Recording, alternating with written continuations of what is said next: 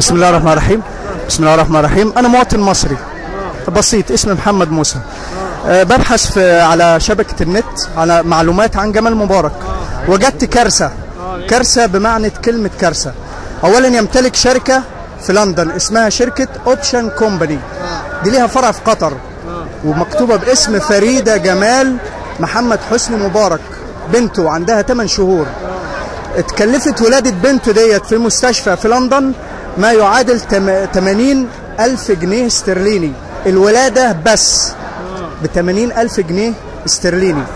بيملك عمارة في شارع اسمه في عمارة 28 شارع إندي سلودس في لندن. تمن العمارة دي 8 ونص مليون جنيه استرليني. هي مكونة من ست ادوار ومعايا الصور بتاعتها. نازلة برضو من على النت. قبل التنحي بليلة كان في لندن. هو وأصحابه. دخل مطعم اسمه مطعم كي جو الم- المطعم ده اسمه كي جو دفع فيه ما يعادل 160 ألف جنيه في عشاء. هو وأصدقائه. ليلة التنحي. وده كله أنا جايبه من على النت. آه بس هي دي المعلومات اللي اللي أنا جبتها من على النت. ونشوف بقى ما يظهر بعد كده إن شاء الله. إيه يا عم الصور اللي انت عاملها طب فعلا الصورة إيه عيش وحلاوه إحنا جايين هنا عشان نحاكم الصورة دي.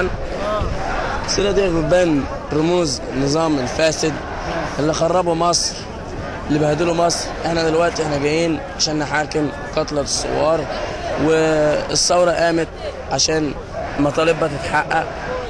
آه، ولسه لحد دلوقتي ما فيش مطلب اتحقق من الثورة. إحنا دلوقتي عايزين نحاكم حبيب العدلي ومبارك ورموز النظام ال- الفاسد ومطالب الثورة اللي إحنا عايزينه.